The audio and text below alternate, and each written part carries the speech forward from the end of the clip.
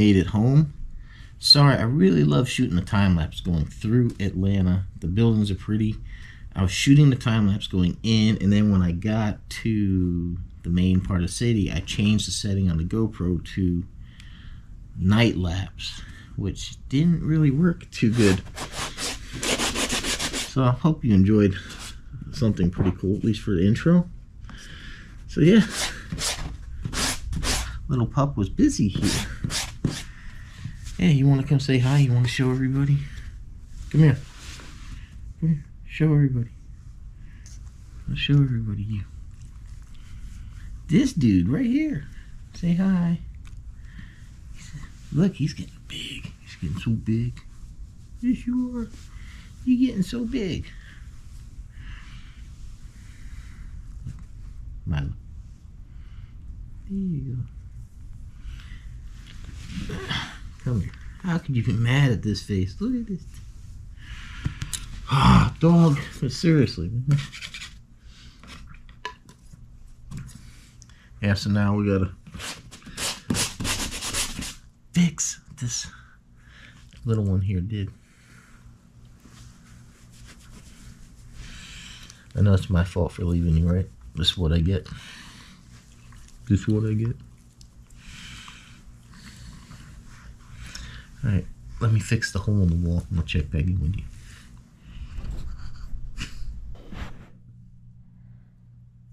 Not too bad if I don't say so myself. I actually took three coats. Because believe it or not, the first coat, the dog came in here and licked it off the wall. uh, but yeah, I, did, I put another coat on there, and because it was so deep, I just kind of filled it in the best I could. Because if you try to fill that in, the spackling will be so wet it'll bubble up or just kind of fall out and deform. It won't stick very well. So your best bet is just kind of go in there, fill in the hole with a little bit, let it harden, come back, and then you could well flatten it out with the next coat. Um, yeah, thankfully, man, thankfully the dog didn't eat through the wall and make a hole because then that would have been a whole nother process to fix that. So luckily he didn't puncture through the sheetrock. But now we got to go see if we still have the paint left over. Somehow I think the wife used all the paint. I think she just got like a gallon and it barely made this room. Let's go outside and check and uh, talk about something. Look at him. He's getting so big. Yeah, you are. He's getting so big. Little puppy's growing. Aw. Aw, look at you. You're lucky you're cute. Eating sheetrock. Alright, let's go to the sanctuary, aka the workshop.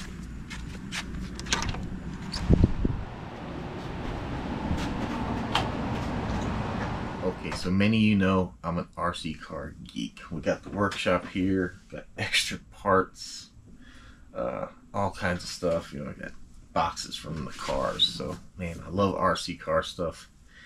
And uh, there's kind of another reason I came home off a trail. Uh, one of the coolest RCs to ever be introduced, as far as I'm concerned, one of the coolest ever came out. And the only people so far that I've seen that have it are YouTubers that do nothing but RC car channels. Uh, that's all they do is RC car stuff. So of course the manufacturers send them the stuff because they want uh, reviews. They want the advertising of the channels going out there. Plus I think they like the feedback of creators going after using stuff and they can see what works, doesn't work, what other people outside of the company like and don't like. It's pretty good. It's kind of a win-win. You know, they give away a product, they get feedback, they get free advertising.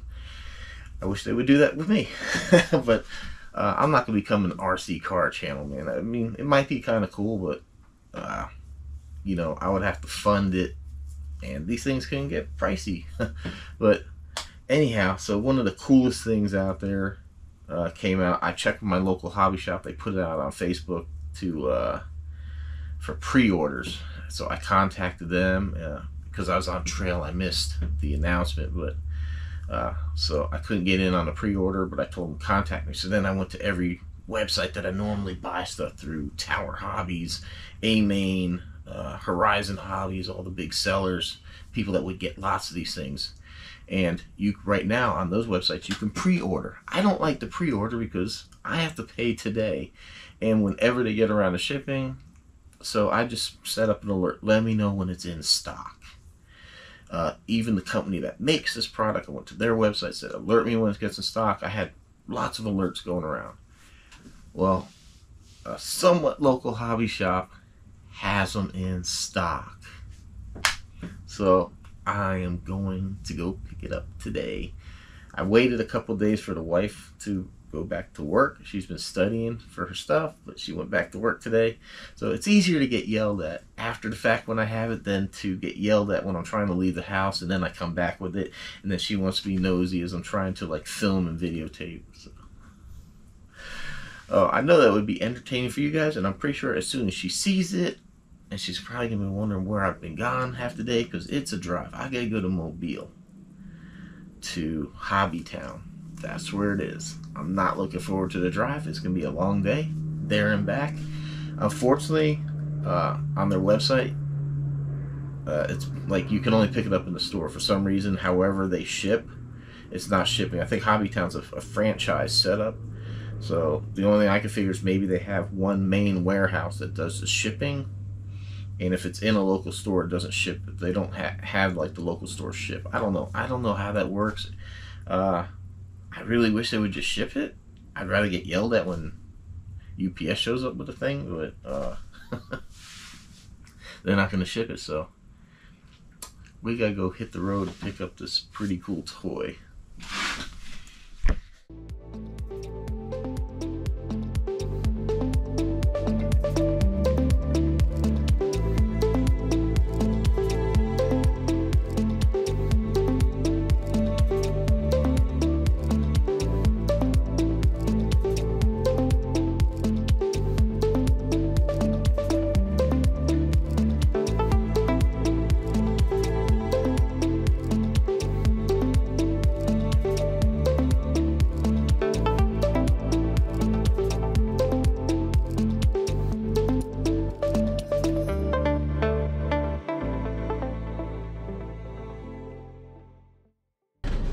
we're here um I actually made about 10 minutes early. I went across the street to mcdonald's got a little lunch because i got like another two and a half hour drive home. And uh and i had to use the bathroom. You know i'm, I'm pulling around the building. This guy pulls out of the drive-through almost takes out the side of my car and he starts laying on a horn at me like it's my fault. You you were parked and you decide to pull away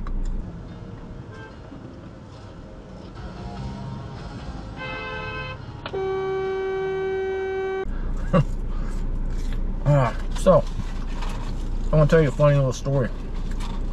Uh, you know, when I got out of the Army, uh, I think like the first job I got, I was offered a program at the employment office to get a CDL, commercial driver's license.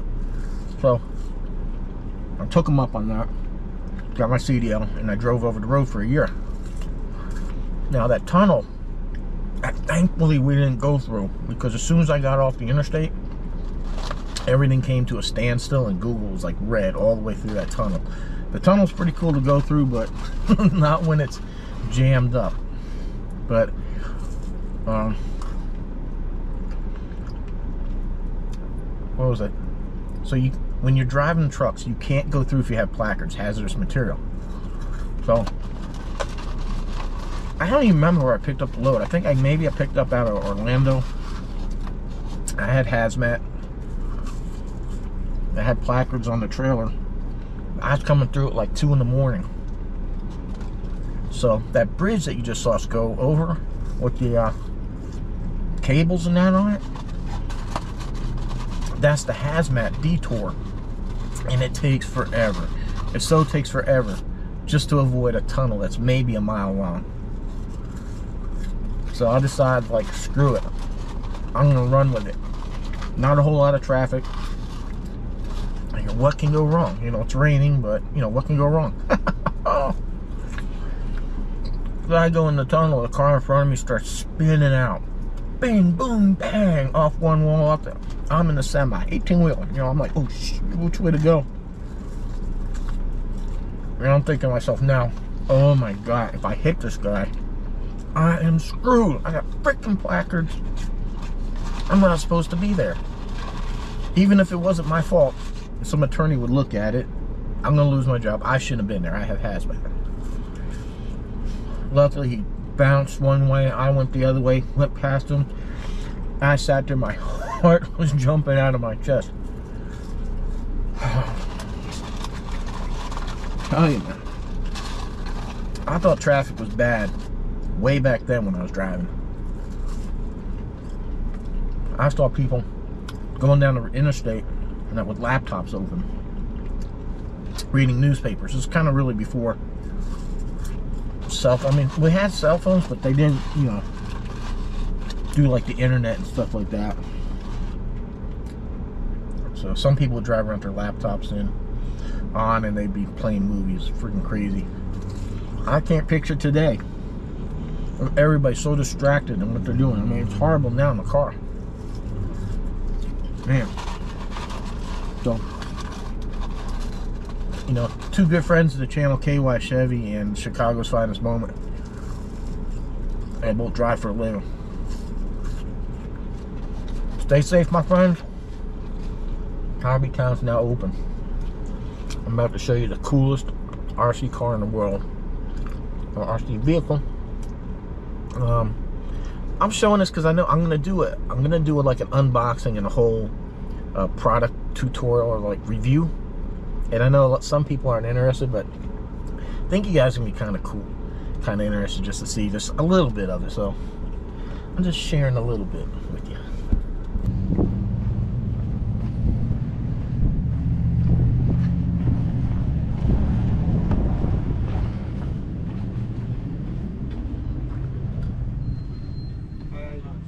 Let's go.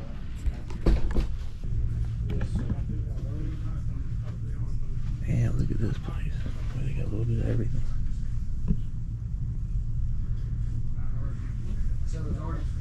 Oh, wow.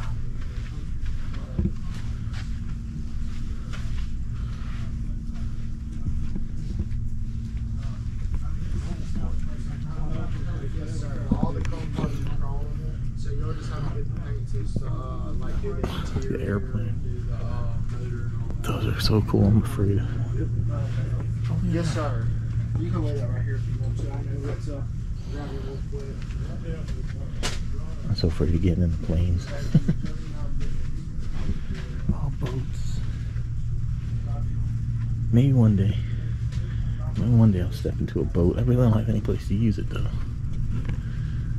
And maybe one day I'll get into a plane. Look, look at that. That's not bad. 379 twin otter. Oh, look at that C-130. Well, kind of. Um,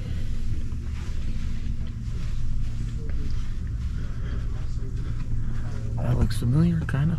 That, uh, that's the only,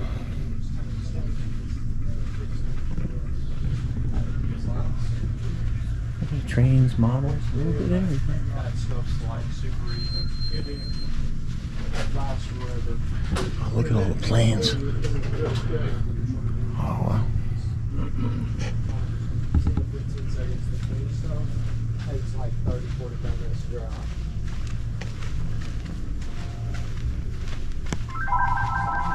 Check this out. RC motorcycle.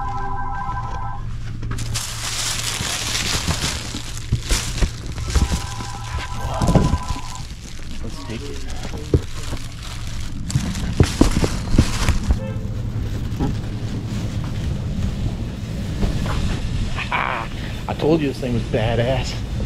RC motorcycle. Check that out. And guess what? I got the last bike they had in stock. I'm so glad I called when I did and asked them to hold it. I was going to buy it online and then I asked them how long it would hold and then they said something weird like if you pay for it online, you have like two days to pick it up and then it goes back. So he said, we can just put your name on and hold it. So, it's said about two and a half hour drive here. I was worried. I was so worried that maybe somebody sold it out from underneath me, but special thanks to Hobby Town here in Mobile for holding that for me. Oh man, what a relief. Such a relief to have it. Oh, this thing is bad. Wait till you see it. It's so realistic looking. I mean, in all the videos I've seen, it's like really easy to drive. It looks like it's gonna be fun. I'm excited. Let's get home and pray for good traffic going the other way.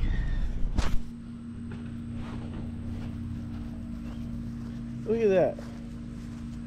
That's all German Shepherd. That's all German Shepherd. She is shedding, and man, when she sheds, whew, it comes on big time. But uh, check this out, man. Whoa. Look at that. All right, so I'm about to film the unboxing and uh, first drive and all that. And I thought about it, I really want to get that video out. So it's going to come before the vlog. But I hope you guys enjoy seeing some of the RC cars. So I'm pretty sure a lot of you won't tune in. Those that watch my vlogs aren't going to tune in for the RC car like review. But I'm going to add a little bit of review to here so you can see me interacting with it. Just, I, I hope you enjoy it. Because, I mean, come on, man, that is so cool. In my shop. I love this. The sanctuary. Look, we got the AC working. You know, I went and bought all these parts. and so far, I really haven't broke anything. I guess they just make them way better now. Back when I had Tamiya's, I had all kinds of spare stuff, and I always needed it. Always, always breaking stuff. So I got these new vehicles. I watch these YouTubers that do these jumps and all, and I go, oh, this breaks and that breaks. Uh, you know, oh, on the X-Maxx, get these, uh, these steering knuckles, they break, and the skid plates break, and gears and stuff, and I haven't broken anything yet. I've lost like one nut on the small one, and this cheapy little Amazon thing saved the day. So I'm gonna film this, and uh, I hope you guys enjoy. You're not gonna believe this. I there's the motorcycle. I've yet to use it. Corgi's excited. uh, so this is the battery that they sold me, right? So when I went online, I specifically looked. The battery that they recommend isn't available. And then the charger that they recommend is a cheap little thing, but they have charger battery combos. So I selected the one I specifically looked. Now every manufacturer uses a different type of connector, right? Of course, they got to make life difficult. Uh, like Traxxas that makes the X Maxx, the Sledge, the uh, Rustler there uses that type of connector, right? And then I have the infraction and the felony over there. They use, or they're supposed to use this type of connector. Basically, when I bought those, I cut these connectors off and I, I soldered a Traxxas connector to there because I already have a bunch of Traxxas batteries and I wasn't going to invest money into these. Uh, the reason I did this with the motorcycle is the connector is kind of screwed underneath the seat. So it's in there and it's screwed in so you can plug in. If I go to a Traxxas connector, it's just going to dangle and there's a chance it's going to get caught up in the wheel because it's like right underneath the wheel. So I bit the bullet, got the right battery or the one that they call for. It, the hobby store gave me the wrong setup. The guy even told me, he said, oh, this is a uh, IC3. This is called IC3. It needs an IC5 connector. So I was like, and I even asked him, I said, are you sure? I said, I thought the one I looked at, it specifically said IC5. I said, "Is there another one that we're not seeing or something like that?" And he goes, "No, that's it." And he started trying to piece together something for me.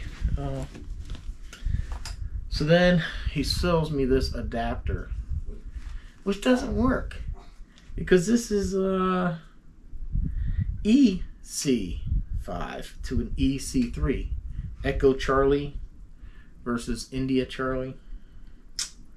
And plus, it's wrong anyhow because, as you can see, it's the same type of plug. It's male. If this was an adapter, this part here would need to be female. And then this part would need to be male to plug into the bike because it would emulate this. You're trying to change this to a bigger connector. This is wrong. So first off, these are the same connectors of both males and then the female part doesn't even plug in because like I said this is an EC I need an IC so like one of my battery chargers here like this is a Tamiya connector. This is a mini Tamiya which is like the Clodbuster and the frog back here and like the red hot shot are all Tamiya. Uh, I'm not sure what this is. So here is an IC3 connector and then this is what's called like a Dean's connector. Yeah, the, the RC hobby's gotta be complicated with all kinds of connectors. I haven't even touched on every connector that's available out there. But because I changed the plugs in those two, had I kept them original, I probably would have had a 5000 milliamp. Well, no, I probably would have had a three cell because I think, yeah, because that one I converted to 3S. So yeah, I wouldn't have had a. I don't think I can run a three cell in that bike without frying the electronics. So I ordered on Amazon the right connector. It's just a connector, and then when it comes in, we're just gonna have to cut this off. And uh, I'm not gonna cut it. I'm just gonna unsolder it. You can see right here. You can three wires there. You just unsolder it.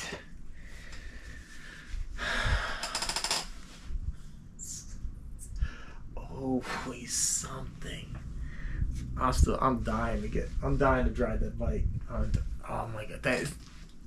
Oh, tell me that's not the coolest thing, man. Tell me you wouldn't come home off trail to go buy that. I'm still grateful for the hobby shop for holding it. They didn't even ask for any money. I, I was even willing, like I said, I was going to pay for it online, but they said like two days. Uh, I guess corporate policy it gets refunded, something like that. But um, they said they put my name on and hold it, and they were true to their word, and they did. I'm grateful for that. I did reach out to the hobby store to see if they can fix this because I spent almost ten dollars on the wrong connector. I spent a little more than ten dollars to buy the right connector or this adapter, and then the charger that they sold me ends up being like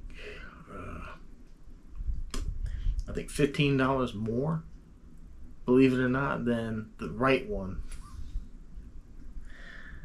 So I think this whole debacle ended up costing me about an extra forty dollars to make it right, because I got the wrong charger, which is more money. I bought an adapter that doesn't work, and I had to buy the right plug. Luckily, it's gonna be a, a next day Amazon, so I'll have it on tomorrow, and I'll have the bike running. Oh man, but I have the. I feel so good by having it.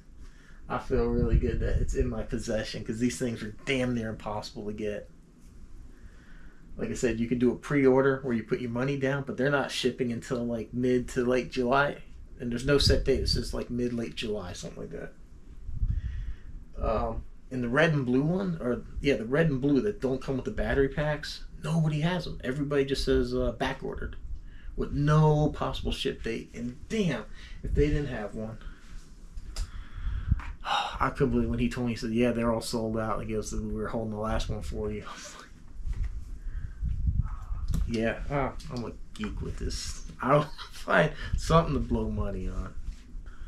I'll check in with you when I can get this battery plugged in. Ooh, I got the connector. Uh, and today I'm on the late Amazon delivery route. But hey, I talked to, I believe it's the owner, maybe it's the manager, I don't know, of the hobby store. He apologized for everything that's going on. And that's all you can ask for. If something happens, you know, all you can do is make an attempt to make it right. And, uh, you know, he apologized, said that the battery charger I was looking at was uh, out of stock, that the computer inventory had it wrong, which is why I called about the motorcycle because that stuff happens. And I wanted to make sure that, you know, the computer inventory showed that they actually had the bike before I drove there and that. So, not a big deal. Uh, he's gonna give me a, a, good deal on a battery, an extra battery for the bike when the ones that actually belong for that bike come in. Uh, everything for this bike right now is just crazy and high demand. So like the batteries are about impossible to get. So, so that's all you can ask for. So I'm, I'm happy with that. You know, like I said, he apologized, and I mean, no harm, no foul. I mean, the, the, the young kid there, he didn't do anything intentional. Uh, he even told me before I got the battery that it was wrong connector. Just and the, the harness he gave me wasn't gonna work. If that would have worked, I guess you know I would have been riding the bike by now and everything would have been good. But you know, it's like I said, I'm not I'm not mad at anybody. At least you know they stepped up and they're gonna take care of it, make make it right with me. He's gonna get when the batteries come in, he's gonna mail it to me, and uh, we'll get it taken care of. So that's all you can do, man. So yeah, so let's get this bike running.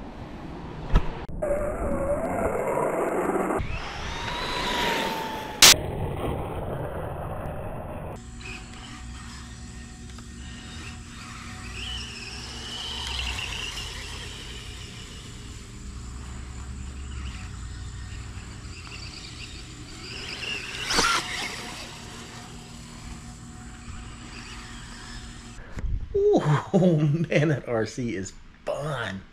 That thing is a blast. Uh, thank you for letting me share that with you. Uh, let me turn around and give you a quick garden update. Uh, this is what she's got going on in the green here, greenery here. Or tomatoes or something that she's growing, all kinds of things. But yeah, uh, thanks for letting me share that. That was fun, man. I absolutely love the RCs. But check it out. Got five days worth of food here. Another five days worth of food. This is going to get dropped off to us uh, on trail and we'll carry this one. It is a little heavy. Uh, I had some extra food because when I went to Franklin, I had a five day resupply in the car. I didn't use. So the good thing is I have freeze dried meals for the entirety of the trip because using the Knorr packets didn't really work the way I wanted to it's just it is expensive to try to eat freeze dried meals every day. But seeing I'm not doing a through hike, be out there for about ten days, may as well live a little. And I had it, so uh, freeze dried meals every day. Um, the only difference from what I normally do is every day there's an extra snack. So some of those things I showed you in one of the other videos, like lemon coconut bar or something like that, I have one of those for every day, and I have about four or five items that are just off the side. They're extras, uh, just in case hunger hits, and I just feel like I need an extra snack. And like you, you know, when you're out there, you really can't dive into like your planned food for the day because maybe you're hungry today, so you eat some, and then you're short for the next day, and you're gonna put yourself in a bad spot. So it's extra weight, but right now these are about six and a half pounds a piece a little bit heavier than my normal before I was about five pounds of food, maybe a little bit more than five. But I should be good to go. I shouldn't. I shouldn't be hungry, and I should be well nutrition, well nourished with protein bars, Clif bars for energy. Got some snacks. Got the freeze dried meals. So looking forward to getting on trail. Hopefully I make it. But uh, yeah. So like I said, after this video, I have two more that'll be coming out uh, like tutorials on stuff, and then there's gonna be some radio silence for a while as I finish this hike. So that's why you won't hear anything for a while. So, thanks for watching. Hope you enjoyed the video. Hope to see you uh, when I get back off trail and start posting these videos.